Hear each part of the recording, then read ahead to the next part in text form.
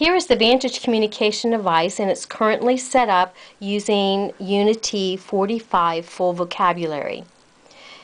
In the PRC devices, you have the bottom four rows are, are considered the core vocabulary. Then the activity row at the top is considered your fringe vocabulary. And then this communication device also has the ability to go into pages.